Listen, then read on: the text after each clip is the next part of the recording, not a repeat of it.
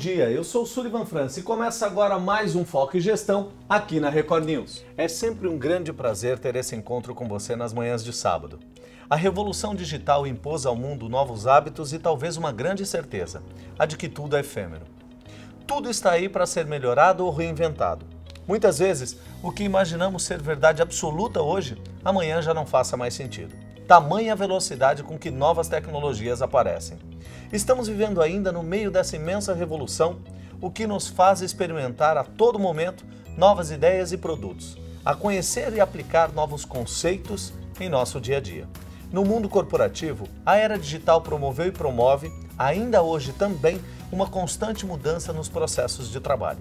O Brasil e o mundo vivem um momento de grandes transformações, provocadas por migrações da força de trabalho dos setores primários para a área de serviços, do trabalho assalariado para o autônomo, do emprego que necessita da presença física para o trabalho virtual. Isso citando apenas algumas. Uma dessas invenções que passou a fazer parte da vida de quase todas as pessoas é o WhatsApp. Hoje é o aplicativo de maior uso no meio profissional e também entre as pessoas na convivência com os amigos, família e escola. Só no Brasil, já são mais de 120 milhões de usuários, mais da metade de nossa população. O Brasil já representa hoje cerca de 10% do total de usuários no mundo, que já tem 1 bilhão e 200 milhões de pessoas conectadas ao aplicativo. Todos os dias, são milhões de interações entre colegas e chefes no mundo corporativo. É preciso, porém, tomar alguns cuidados ao utilizar essa ferramenta de mensagens durante e fora do expediente. Apesar de agilizar a troca de informações sobre a empresa e seus processos e projetos, o uso sem limites do WhatsApp pode, por exemplo, atrapalhar o tempo de descanso do funcionário ou afetar sua produtividade e o foco. Com o tempo, começamos a perceber que é preciso ter um senso de responsabilidade no uso dessa plataforma, principalmente no ambiente de trabalho. Este é um dos destaques de hoje no Foco e Gestão. Muitas empresas possuem e dependem de aplicativos para divulgar os seus negócios e produtos. A finalidade dos aplicativos, na maioria das vezes, está ligada ao marketing e ao relacionamento com os clientes. As possibilidades que o meio digital abriu fez surgir um mercado poderoso formado por companhias que se especializaram no desenvolvimento dos indispensáveis aplicativos. Para fazer sucesso com o público-alvo, o caminho é tortuoso e sua criação não é tarefa fácil e rápida. É necessário uma boa dose de conhecimento em programação, design, desenvolvimento de software e uma análise de mercado. Para levar para você a melhor informação sempre, a nossa reportagem foi conferir como é a criação de um aplicativo. Outro tema que vamos apresentar hoje trata da gestão digital, que monitora as atividades de uma empresa no universo online. A área é responsável por garantir a manutenção da boa imagem da companhia e de seus produtos, criando uma relação transparente e duradoura com seus clientes, interação com os consumidores conteúdos atrativos e promoções de marcas, produtos e serviços também são responsabilidades da gestão digital. Você não pode perder. Daqui a pouquinho, no Foco e Gestão. E nossa entrevista de hoje é com a diretora-geral da Swarovski Brasil, Carla Assunção. Ela trouxe a marca para o país em 2001 e construiu uma carreira sólida ao longo desses 16 anos de trabalho na empresa. Agora, nós vamos ver o que o nosso quadro Giro no Mundo traz de novidades para você.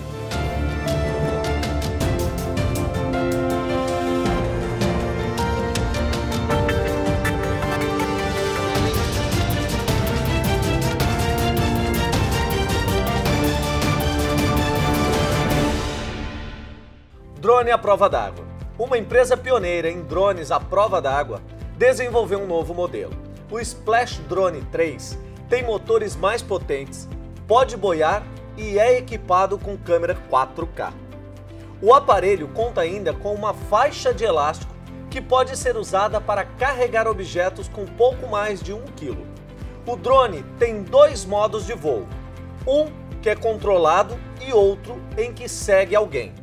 Pode ser usado para filmagens perto do mar ou lagos e até auxiliar no resgate de pessoas que estejam com risco de afogamento. A gente já viu aqui no programa que os drones estão cada vez mais modernos.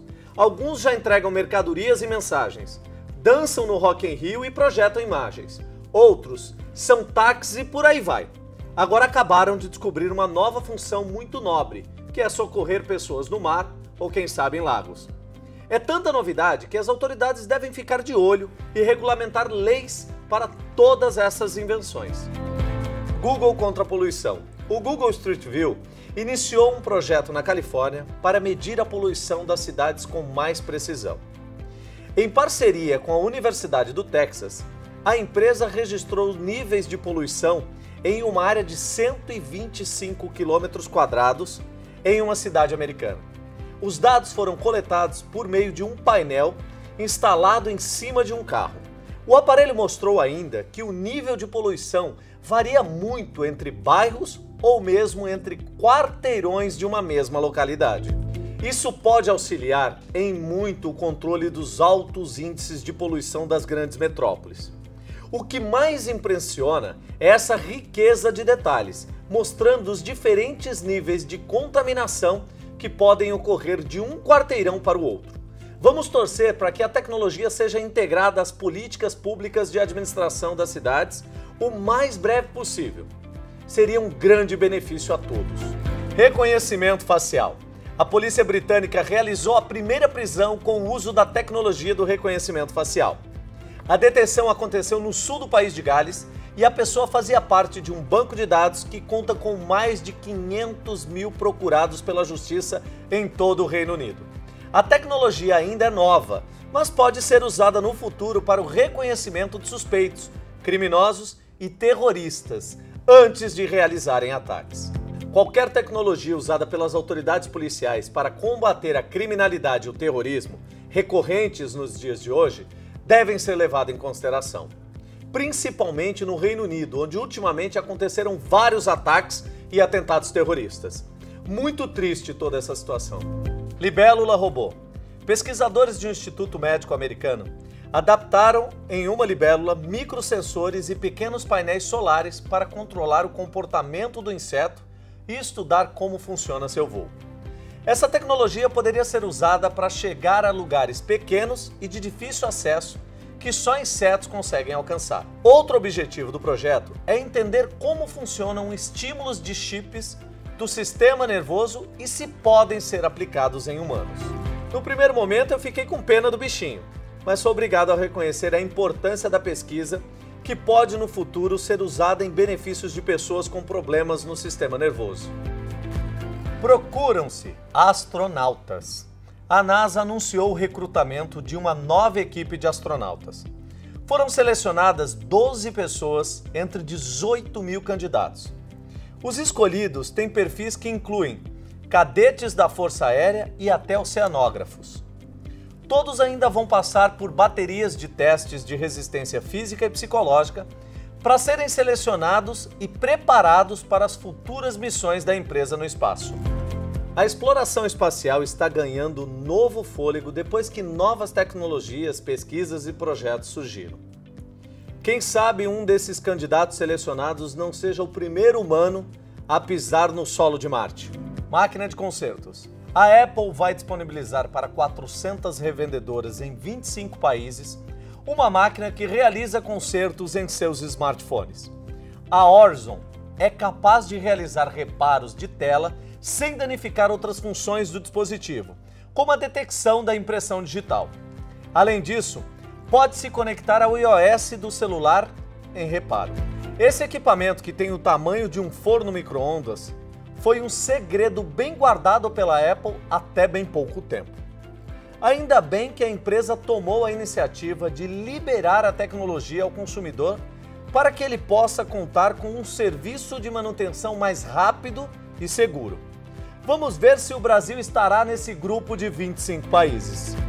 Capacetes sob medida. A empresa que fabrica os capacetes para os jogadores de futebol americano dos Estados Unidos vai usar uma tecnologia de scanner em 3D para projetar modelos que se encaixem perfeitamente na cabeça dos jogadores. A medida vai proporcionar uma maior segurança, evitando que os atletas sejam vítimas de acidentes, ferimentos, fraturas, contusões ou até traumas. O futebol americano é um dos esportes de contato que mais provocam acidentes com os atletas. E mais uma vez é a tecnologia 3D que vem ajudar no aperfeiçoamento de equipamentos. Essa é uma boa notícia para todos.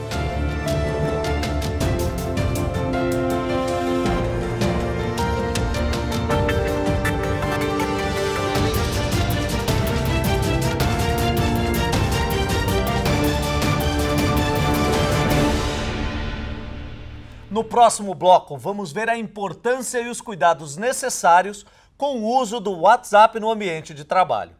Vamos receber aqui no nosso estúdio a Carla Assunção, diretora-geral da Swarovski no Brasil. Não saia daí, porque nós voltamos já já.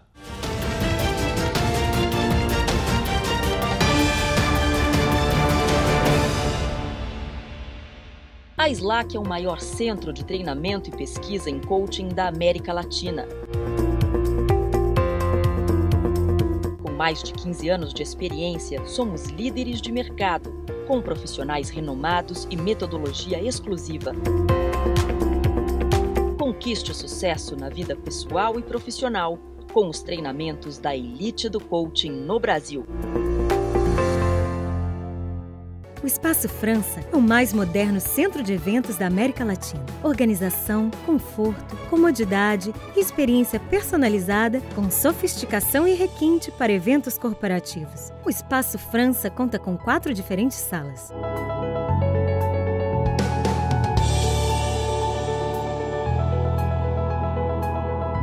Aqui no Espaço França, o seu evento será realizado com qualidade e sucesso. Venha conferir. Imagine o que você faria se pudesse escolher como começar o seu dia. Onde trabalhar. Imagine se você pudesse ter mais tempo. O que você faria?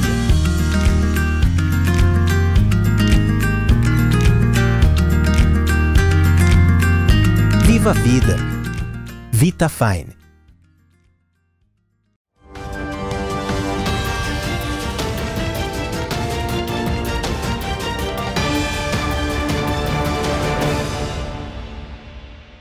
Estamos de volta com o segundo bloco do programa Foco e Gestão.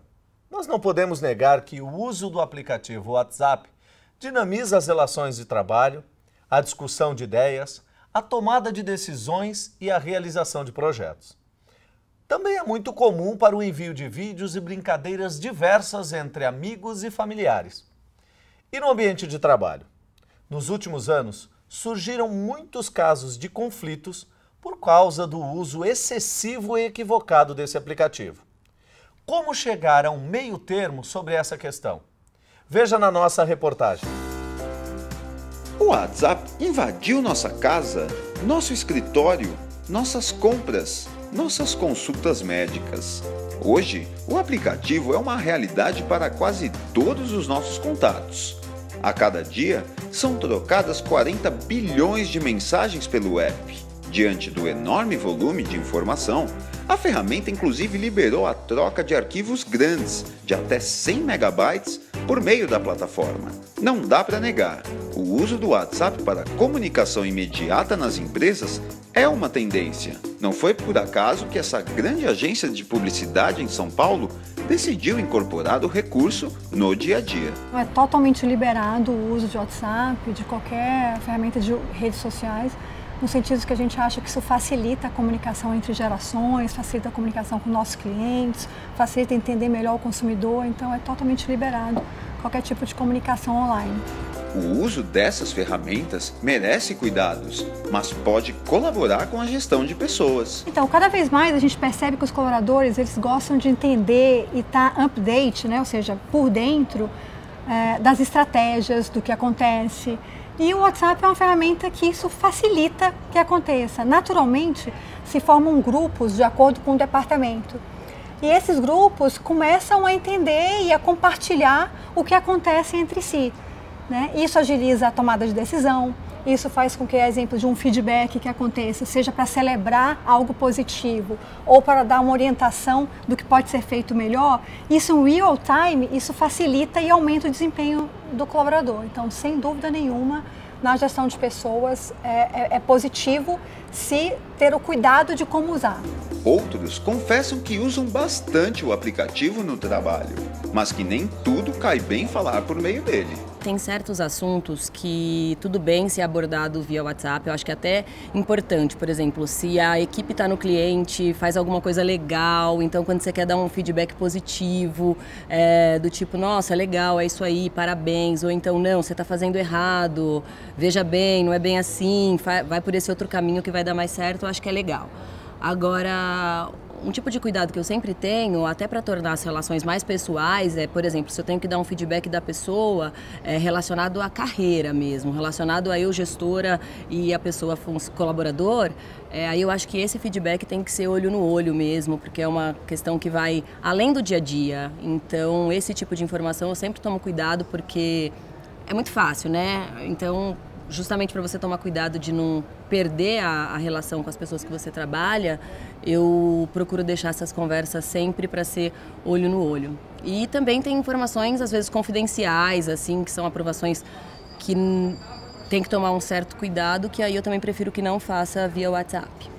Já essa profissional diz que não abre mão do app quando está na empresa. Sim, eu uso bastante o WhatsApp no trabalho. Eu acho que o WhatsApp agiliza muito no processo das informações. Às vezes eu eu estou no cliente, preciso de, de alguma informação da minha gestora, envio para ela por WhatsApp, ou de repente ela precisa de alguma informação antes de entrar em alguma reunião importante e, e consulta algum número atualizado. Então a gente usa bastante assim no trabalho mas tomando um pouco de cuidado para isso não, não fazer perder o foco do dia a dia, né? Ela não acredita, porém, que o aplicativo seja um substituto para meios mais tradicionais. Eu acho que mesmo que você tome alguma decisão no WhatsApp com, com, a equipe interna, tá, é importante formalizar e até a gente tem ferramentas aqui dentro que a gente precisa ter tudo formalizado. Então, eu acho que não substitui, ele agiliza para você ter uma, uma informação rápida, mas depois continua no processo normal de, de e-mail, é, ferramentas internas, enfim. Boa parte dos usuários de aplicativos de comunicação instantânea, como o WhatsApp e o Telegram, conversam sobre assuntos do trabalho por meio deles. Mas pesquisas mostram que são poucas as empresas que têm políticas focadas no uso dessas ferramentas. O bom senso ainda parece ser a melhor saída na hora de saber o que pode ou não ser compartilhado pelo celular.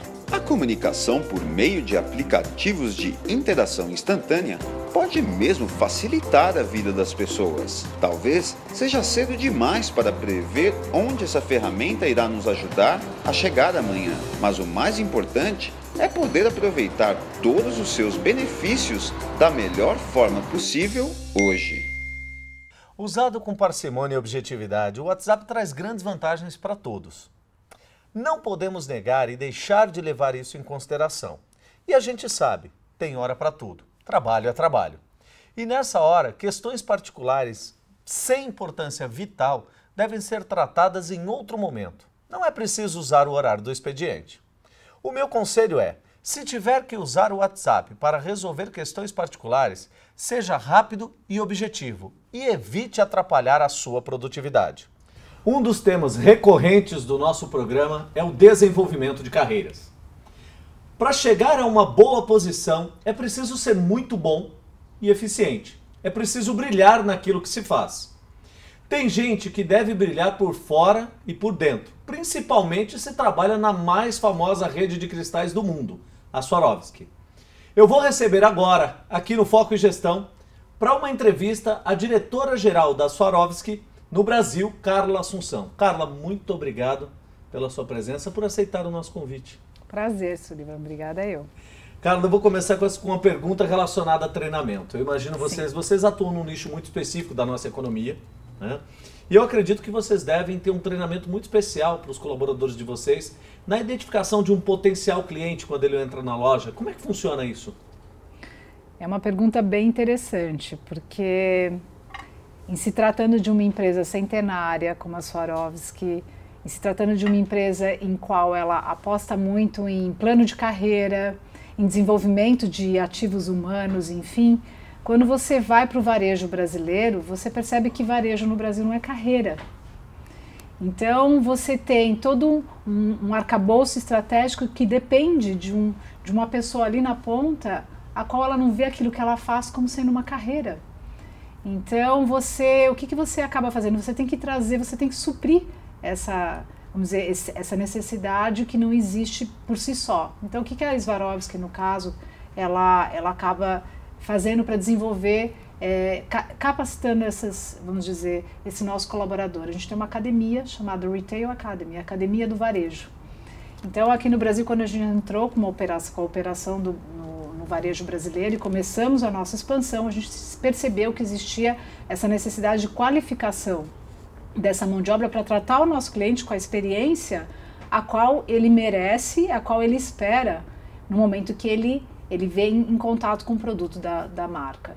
Então, para isso, a gente desenvolve essa pessoa através de uma academia, que existe todo um plano de carreira. É realmente uma universidade do varejo que a Swarovski hoje oferece para para esse colaborador. Eu digo que às vezes as pessoas é, veem algumas atuações como trabalho e não como carreira, né? Aquele uhum. como trabalho, ele está preocupado com aquele resultado Exatamente. financeiro no quinto dia útil e o que olha como carreira está preocupado em se aperfeiçoar, em crescer, em se desenvolver. E aí vocês criaram essa estratégia, essa academia para conseguir capacitar essa, essas pessoas. Me diz uma coisa, uhum. dentro dessa academia, quantas etapas de desenvolvimento profissional passa?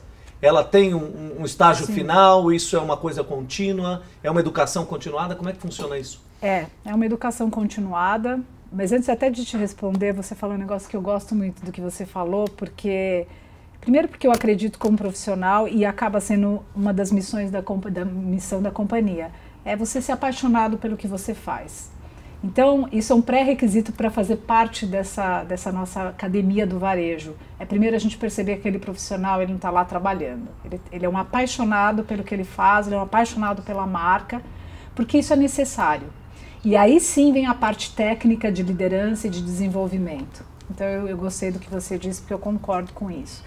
E sim, é, é como, é como um, um, programa educacional onde você tem que é, superar etapas, a cada etapa superada, a cada desenvolvimento de uma etapa, você consegue oportunidades. E essas oportunidades não necessariamente estão atreladas somente ao varejo em si. Aquele, aquela pessoa que está ali na nossa loja, ela pode se tornar uma supervisora, de uma supervisora ela pode ter um trabalho de back-office, e de um trabalho de back-office ela pode também visionar uma carreira internacional, porque é uma empresa global. Então é isso que é interessante, a pessoa começa a entender que aquele, aquele esforço dela ali na ponta, aquele desenvolvimento, ela tem, ela pode alçar limites aos quais realmente são bastante atraentes para aquele que é apaixonado pelo que faz. De uma maneira geral, Carla, o consumidor brasileiro, ele tem um perfil específico?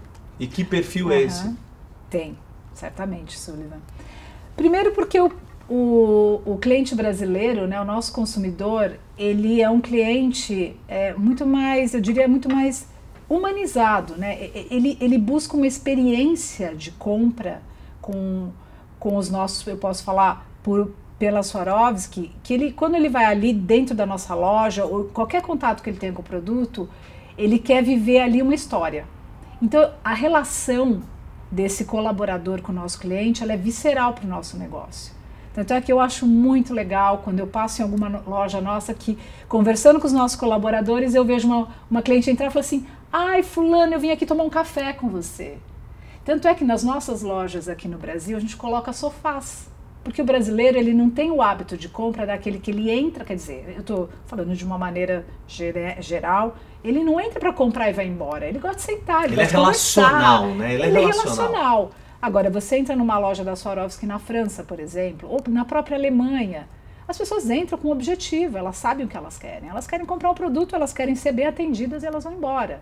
E ok também, mas o nosso, o nosso consumidor, ele é um latino, ele gosta dessa relação humana e a gente. Isso é uma das questões que eu sempre vendo muito lá fora. Essa questão humana, esse contato humano aqui no Brasil, ele é muito importante. Eu sempre comento que a, a venda no Brasil, ela passa por um estágio que é primeiro você estabelece um relacionamento e depois a pessoa compra. Se você não eu conseguir acredito. estabelecer esse relacionamento, aí tem gente que fala assim: ah, mas em muitas partes do mundo também é assim. Mas eu digo que o Brasil é muito peculiar. O brasileiro ele, ele tem essa necessidade de estabelecer mesmo um vínculo. Esse vínculo ele chega a ser até afetivo com o seu, o seu interlocutor, vamos dizer assim, o vendedor, para que depois ele possa efetivar uma compra e até a fidelização do cliente, né? Não, sem dúvida, é lógico. Eu acho que essa relação ela é importante eu acho que independente da, da, do, do, país ou, ou, das questões culturais, mas eu acho que no Brasil, como você mesmo falou, aqui eu acho que isso passa a ser chave. É um componente necessário para você criar uma, ainda mais em momentos é, desafiadores, né, tanto econômicos ou políticos, você percebe que a, a, marca ela passa a ter uma fidelização muito maior com, com o cliente, porque existe uma relação ali já construída acaba sendo um diferencial essa construção é um diferencial, de relacionamento. Né? E eu vejo isso assim muito presente no nosso negócio. Falando em relacionamento, falando em cliente, como é que vocês preparam os jovens dentro da companhia para que eles assumam posições de liderança? Bom, primeiro que os jovens na companhia eles são importantes para ensinar nós, né, o que que o que que hoje o mundo pede, né? Eu acho eu acho incrível, eu vejo a nossa equipe ali, principalmente na nossa área de marketing estratégico, de estratégia, você traz esse pessoal que é totalmente é, online, né? o, o, quanto de mídia digital, o quanto eu, eu acho que essa situação hierárquica ela é muito delicada sob um ponto de vista, porque ali não existe uma relação de hierarquia, mas sim de troca. Né? Então você acaba essa relação com o jovem é muito necessária para uma empresa inovadora, uma empresa que quer se perpetuar. Então, primeiro, o que, que a Swarovski tem? Ela, ela abre muito as portas para isso. Né? Obviamente, a nossa operação aqui no Brasil ainda é uma operação pequena em comparação ao resto do mundo, mas quando você olha na nossa, a gente, eu vou para a nossa matriz, você vê o quanto esse jovem ele tem uma, uma, uma gama de oportunidade de desenvolvimento muito grande, porque ali está o futuro da companhia, é como, é como a gente está aprendendo a entrar nessa era digital. Porque nós, gestores, né, que não viemos dos millennials, a gente precisa aprender. Então eu vejo isso como não só sendo necessário, como um aprendizado para aqueles que, que estão na companhia com, com uma certa idade. Cara, o papo está muito interessante, a gente vai continuar. Espera só um minutinho, não saia daí.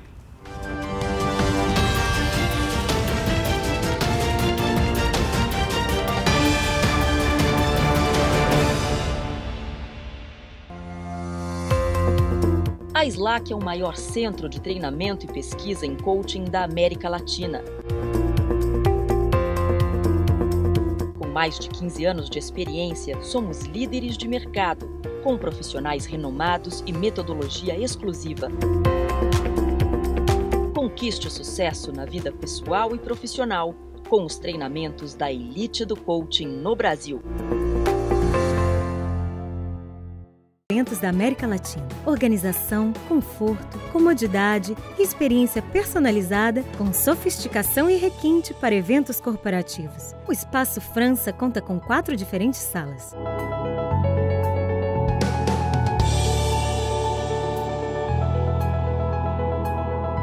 Aqui no Espaço França, o seu evento será realizado com qualidade e sucesso. Venha conferir. Imagine o que você faria se pudesse escolher como começar o seu dia, onde trabalhar. Imagine se você pudesse ter mais tempo. O que você faria?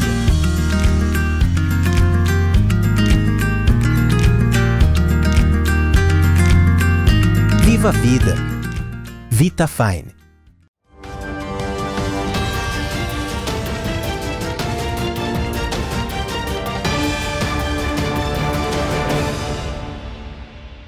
Voltamos com Foco e Gestão para continuar essa conversa interessante com a Carla Assunção, diretora-geral da Swarovski no Brasil.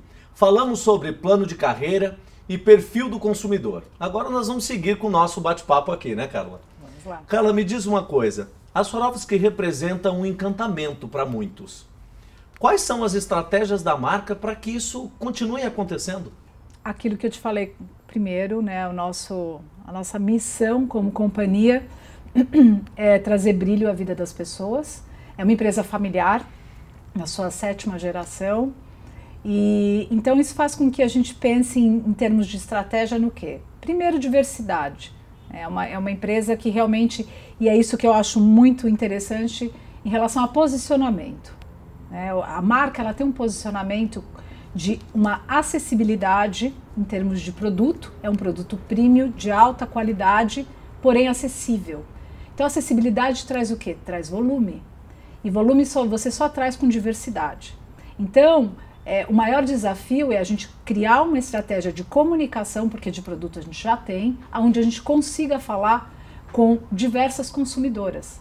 Desde aquela consumidora que vê no nosso produto é, uma oportunidade de usar algo mais clássico, que represente essa personalidade, até uma, uma garota jovem né, que seja mais rock e que queira também usar dos nossos produtos para, enfim, para mostrar a sua personalidade. Então eu diria assim, é interessante que a nossa comunicação cada vez mais ela se descola daquele estereótipo, né, daquela mulher incrível, maravilhosa e perfeita, e ela busca muito mais é, uma relação com a diversidade, com mulheres muito diferentes. Você tem que saber comunicar isso. Tá.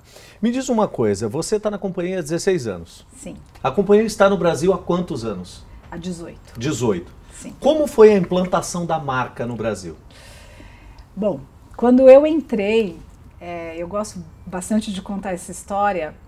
A Swarovski aqui no Brasil, nós fizemos alguns é, focos grupo e ela, ela era associada a nome de vodka. Soar o quê? Porque não é um nome, vamos dizer, fácil, comum, né? É comum. o comum. Tem até a confusão que nós estávamos conversando antes de, de, começar, né? O Swarovski, que Exatamente. alguns falam, ou Swarovski, que, que seria... Está, que ambos estão Que certos. ambos estão corretos. Exatamente, mas não é um nome corriqueiro. Perfeito. É, essa construção, ela veio... A, a Swarovski, ela primeiro, ela, ela tem uma, uma divisão industrial, né, onde nós desenvolvemos o nosso cristal para a indústria, para a indústria da moda. Na verdade, a empresa ela, ela se criou, ela foi fundada porque o, o nosso criador, o fundador da companhia, ele era um lapidador de cristal na região tcheca. Aí ele descobre um método mecânico, que é o Daniel Swarovski, e aí quando ele descobre esse método mecânico, ele fala, peraí, aqui eu tenho uma oportunidade grande de negócio, porque eu ganho escala.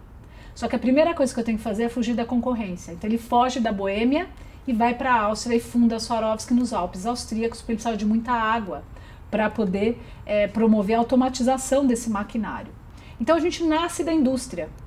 E aí ele vai para Paris, para a França, com a, sua, com a sua maleta e começa a apresentar os cristais para as maisons francesas até que ele encontra a Coco Chanel e a Coco Chanel vê no nosso produto também uma oportunidade de trazer uma joia acessível para a mulher francesa. Então ela começa a usar dos nossos cristais. Então a gente vem da indústria e por causa disso a nossa marca sempre foi associada à moda, com as grandes marcas tanto europeias como americanas, e aqui no Brasil a gente fez. Eu comecei o trabalho no São Paulo Fashion Week, onde nós associávamos a marca com os estilistas. E só depois que a gente fez esse trabalho de construção de marca com marcas locais que usavam a nossa marca, como hoje existem grandes marcas é, nacionais que usam o nosso cristal, e é aí que a gente trouxe o nosso produto acabado que são as nossas lojas, através das nossas lojas e outros canais de distribuição. Então, a construção da marca, ela partiu de, do produto industrial para o produto do varejo. E assim, é, é, uma marca que aqui no Brasil tem uma aceitação muito grande. O Brasil é o terceiro maior mercado em termos de associação e força de marca.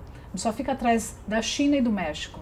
Então a marca aqui é adorada. A consumidora brasileira ela realmente adora a marca, adora os nossos produtos e é incrível assim, a aceitação que a Swarovski teve aqui no Brasil. Você comentou sobre a questão da, da dissociação que ele fez do cristal da Boêmia e tal, e foi para uma outra região. Sim. Eu me recordo que a Swarovski, há 18 anos, logo quando chegou no Brasil, 17 por aí, tinha alguns bichinhos, artigos Isso. de decoração. Não sei se tem ainda. Sim. Que é, eram de colecionadores. Tinham Isso. peças menores, peças maiores ali tinham pingentes, tinham Exatamente. também esses artigos de decoração, tinha saxofone, tinha umas coisas que tinha folhado a ouro junto, não tinha tudo isso? Tem- ainda tem, ainda Tá. tem. E são artigos de colecionadores. Exatamente. né? Esses itens a gente chama como artigos decorativos. Podemos chamar assim ou tô chamar equivocado? assim. Não, Artigos decorativos. Mas as joias agora. Que outras linhas a Swarovski tem? São essas duas linhas? É isso? O que, que, Uhum. que mais domina no mercado brasileiro hoje? ela foi para o varejo com uma marca para o consumidor final, ela foi com esses artigos que você comentou, que é a nossa linha de artigos decorativos, nós chamamos internamente de Crystal Living.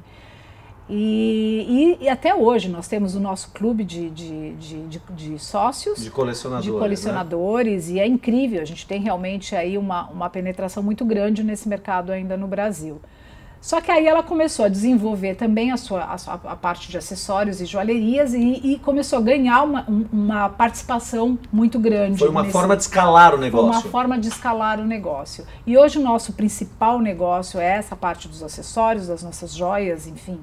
E temos também toda essa parte decorativa e relógios. Acabamos de lançar seis anos atrás toda a linha de, crista- de relógios Swarovski que hoje tem vida própria.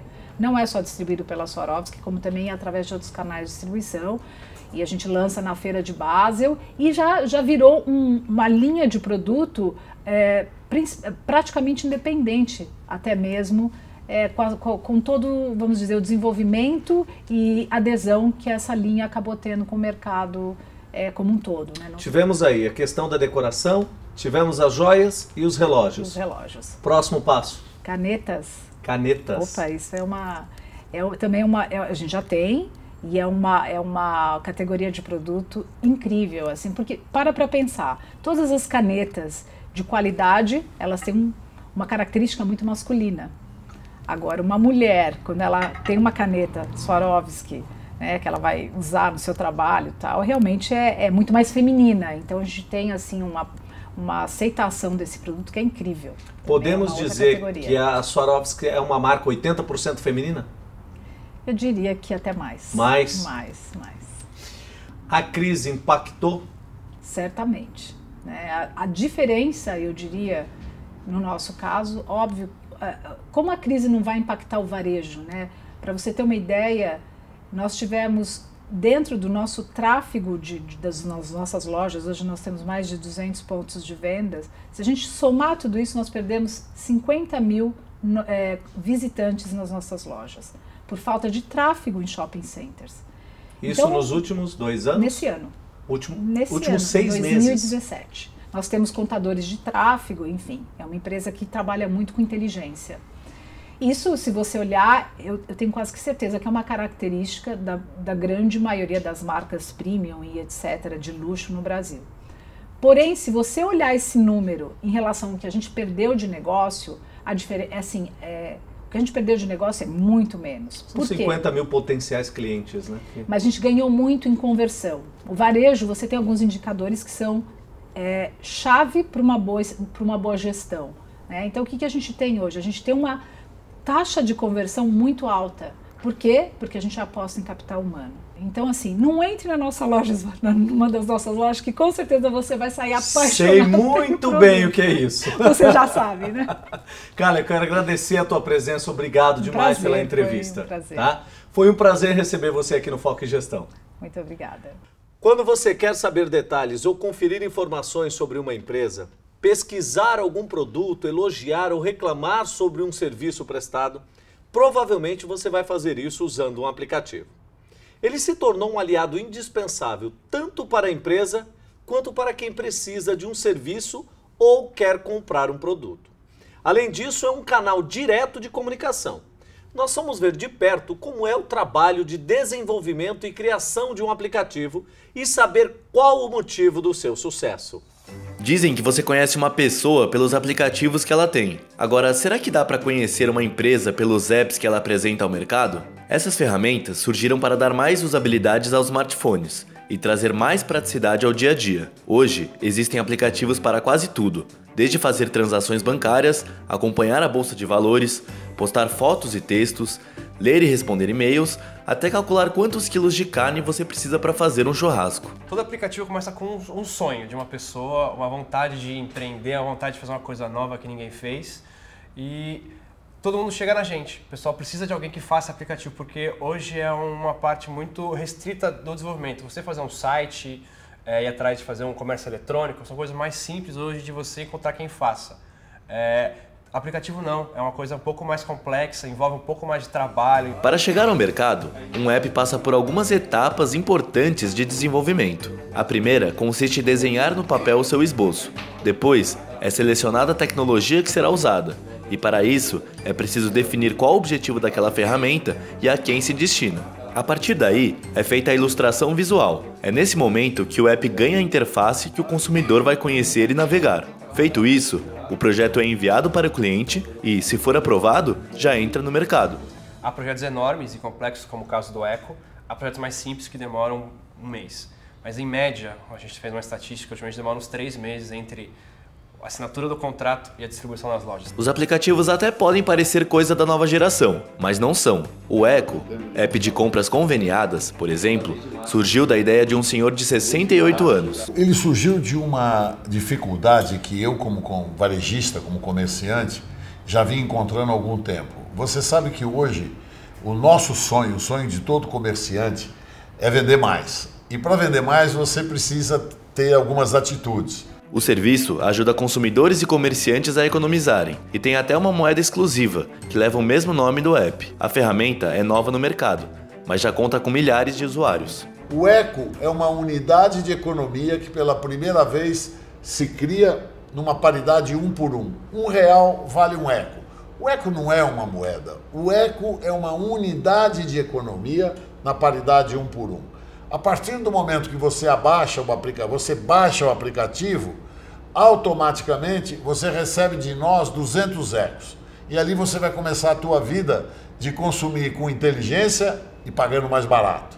Porque todos os estabelecimentos conveniados dentro da rede Eco, ele trabalha aceitando o pagamento parte em reais e parte em eco. A necessidade das empresas serem mobile e estarem cada vez mais próximas do consumidor faz com que a procura por companhias desenvolvedoras de aplicativos aumente consideravelmente. Um estudo feito pela Forbes Insights ouviu diversos executivos de todo o mundo, e três em cada quatro garantem que os orçamentos para o desenvolvimento e a implementação de aplicativos crescem a cada ano. É, ano a ano a gente tem crescido aumentando o nosso número de aplicativos. É, seja B2B, B2C, empresa grande, startup, é bem variado o nicho. É, não, não digo hoje que a gente atende exclusivamente o nicho de comércio ou o nicho de varejo, não. É bem variado hoje, então cresceu muito nos últimos tempos. No mundo conectado, tudo pode mudar num instante, mas os aplicativos parecem ter chegado para ficar. Além de contribuir com diversas tarefas do dia a dia, eles estimulam a criatividade e o lado empreendedor de muita gente. E você, já tentou desenvolver seu próprio app? Sua ideia pode ser a inovação do amanhã. Atualmente, quase metade da população mundial possui um dispositivo de comunicação como um smartphone. E esse número continua crescendo. O Brasil tem a segunda maior rede de usuários da América, com uma penetração de 53% da população. Paralelamente, um em cada quatro brasileiros emite opiniões na internet sobre produtos comprados. Se o cliente utiliza as redes sociais para consultar preços e opinar sobre produtos e serviços, é preciso pensar bem em uma estratégia de proximidade. A solução, nesse caso, pode passar pelo desenvolvimento de um aplicativo para atender o consumidor, estreitar o relacionamento e aumentar as chances de resolver rapidamente dúvidas ou reclamações. Tá aí uma tendência que, quando começou, muita gente desconfiou. Mas, a exemplo de tanta coisa, já está mais do que claro que os aplicativos vieram para ficar e, em muitos casos, se tornaram indispensáveis. Mas nós temos mais assuntos interessantes para você no próximo bloco do Foco e Gestão você vai ver uma reportagem que revela os segredos da gestão digital e sua importância para o sucesso de uma empresa. Nós voltamos daqui a pouco, não saia daí.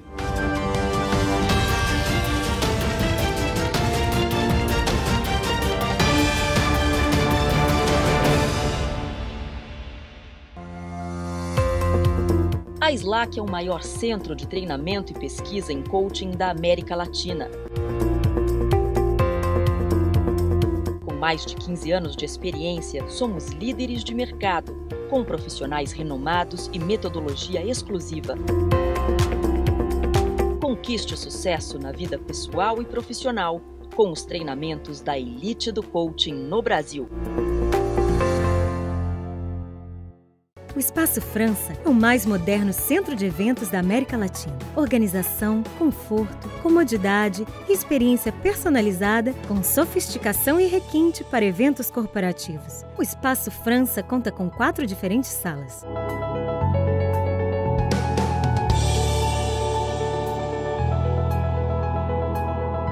Aqui no Espaço França, o seu evento será realizado com qualidade e sucesso. Venha conferir. Imagine o que você faria se pudesse escolher como começar o seu dia. Onde trabalhar. Imagine se você pudesse ter mais tempo. O que você faria?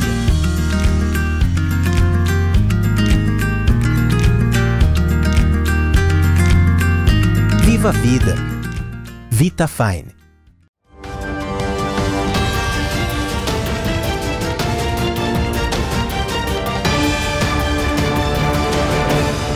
O Foco em Gestão está de volta e agora vamos falar sobre gestão digital.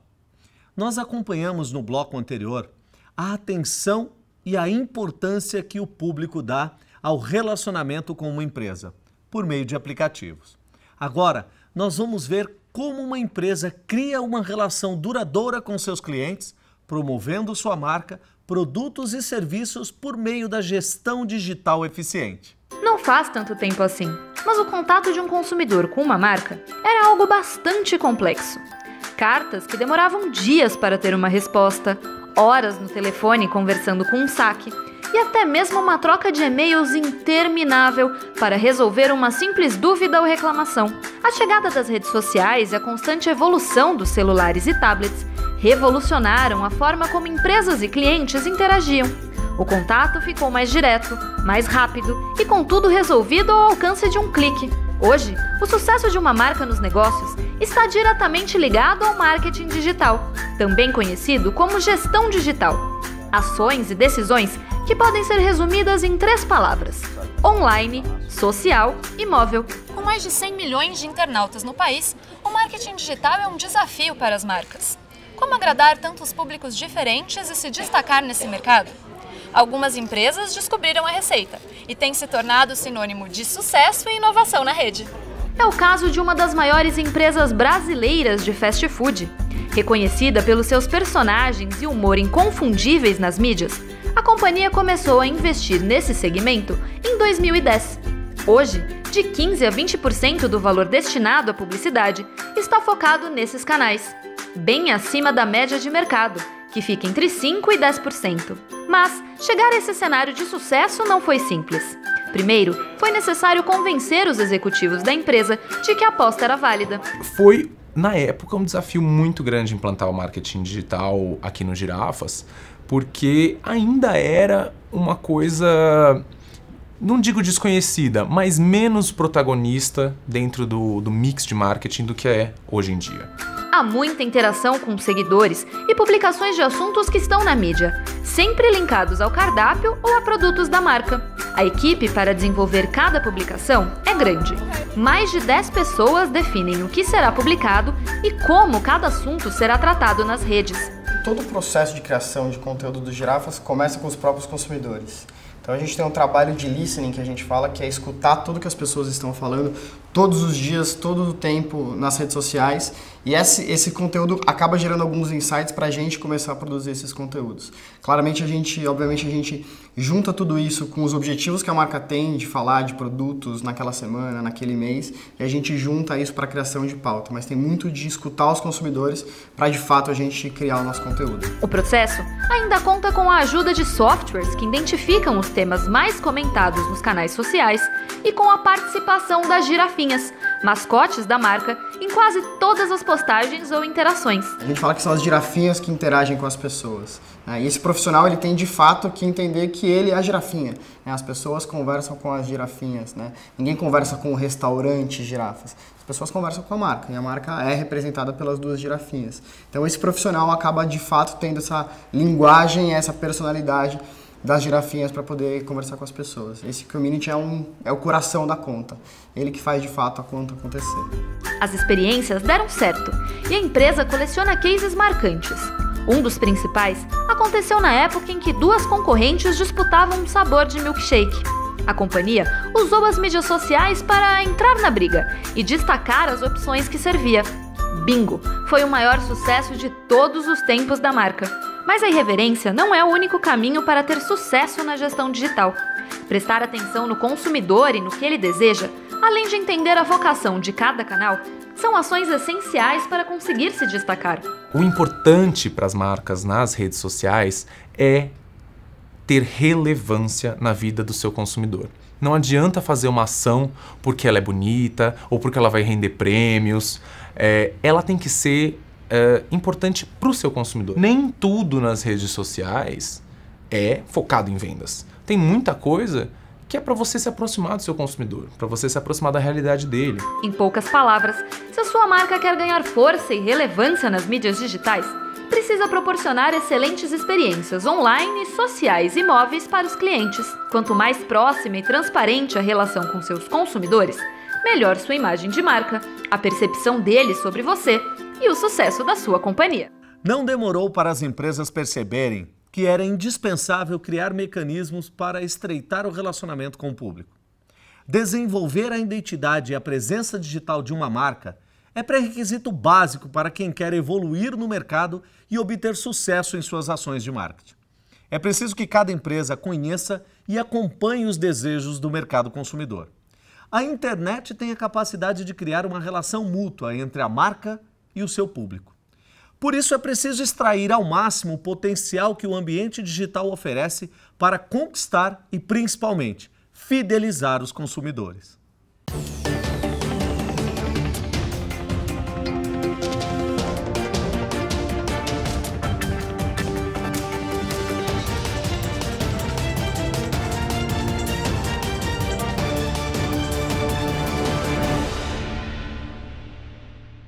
Nada é tão favorável para o sucesso profissional, pessoal ou empresarial quanto o poder da confiança, de credibilidade que envolve qualquer tipo de relacionamento. Credibilidade é a característica de quem consegue ou conquista a confiança de alguém. A credibilidade é criada e atingida com ações concretas, por meio de atitudes certeiras e proativas pelo cumprimento de promessas. Se prometer, realize. Se combinar um encontro ou reunião, compareça. E na hora marcada. Acertou um prazo de entrega? Entregue. Conclua a tarefa ou trabalho dentro do combinado. A credibilidade está diretamente associada à palavra dada e à sua relação com as ações práticas é um fator extremamente importante para criar relacionamentos positivos e permanentes. O importante é sempre transformar a promessa em algo real. A credibilidade é uma combinação de caráter e competência. Ter caráter significa dizer a verdade, admitir erros, corrigir enganos e defeitos, demonstrar respeito e saber ouvir o outro. Ter competência se traduz por cumprir o prometido, realizar tarefas sem equívocos. O sucesso de uma empresa está diretamente ligado com a sua credibilidade. Uma boa reputação também se faz por meio de consumidores satisfeitos com os produtos ou com os serviços comercializados e também pela transparência da empresa.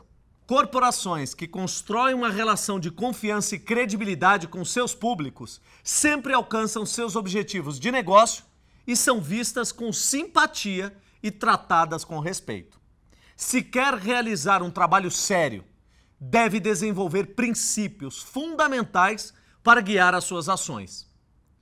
Em uma sociedade globalizada e digital, onde a troca de informações é sempre ágil e dinâmica, Ser transparente, claro, objetivo e sincero permite construir de maneira duradoura uma boa imagem e reputação.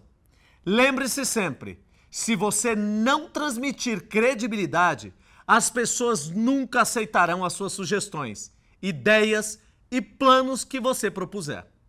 Jamais vão reagir de maneira positiva ou aceitarão plenamente as ideias e planos que você pretende realizar.